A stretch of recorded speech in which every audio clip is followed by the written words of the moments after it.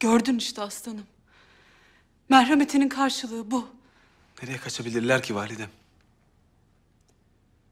Elbet bulunur değil mi derviş? İnşallah hünkârım. Bostancılara talimat verdim. Bütün yollar, limanlar kapatılacak. Maazallah ya küffarın eline geçerse.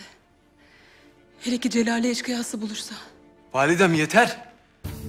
İki lafınızdan biri felaket. Derviş, tüm mesuliyet senin. Bana derhal kardeşimi getir yoksa ilk senin kelleni alırım bilesin. Emru ferman yüce padişahımızındır.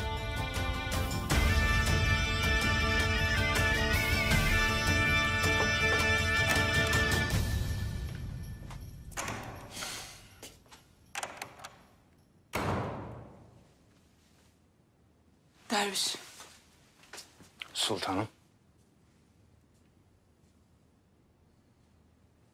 Hiç umut yokken evladım tahta çıktı.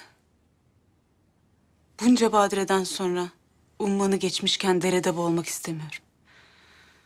Anladın beni değil mi? Ben size ve kendime bir söz verdim sultanım. Ne pahasına olursa olsun koruyacağım hünkârımızı. Âlâ. Sana itimadım tam.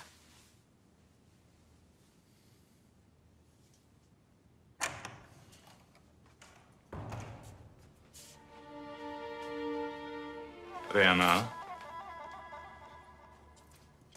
Böyle mi koruyorsunuz hünkârımızın haremini? Lafını bil de konuş Bostancıbaşı. Karşında Darüssaade ağası var.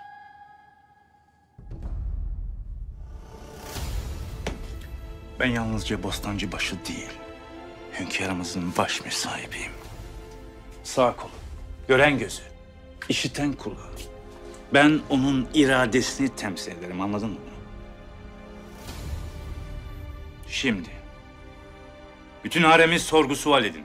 Kim ne biliyor, ne görmüş, ne işitmiş bilmek istiyorum.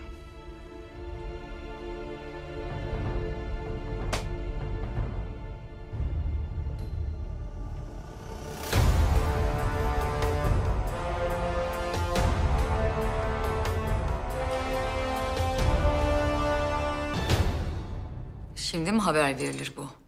Sultanım bağışlayın. Uyuduğunuz için ben ra- ra- Şehzademiz saraydan kaçırılıyor. Sen uykudan bahsediyorsun.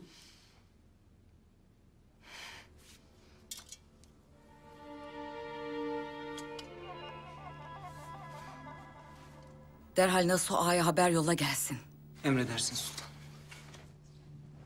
Destur! Sultan Ahmet Han Hazretleri.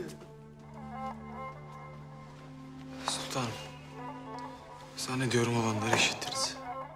Az evvel öğrendim. Halime denen yılan torunumuzu kaçırmış. Siz o yılanı hepimizden iyi bilirsiniz sultan. Hangi deliğe girer, kim yardım eder, nerede Her saklanır? şeyin en iyisini biliriz.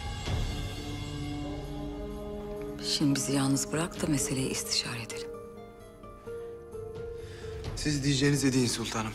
Kim yardım etmiş olabilir? Aklınızda biri var mı? Düşmanımız çok. Anlaşılan işlerinden bir tanesi Halime'nin kulağına Şeyhülislam'dan fetva istediğinizi fısıldamış.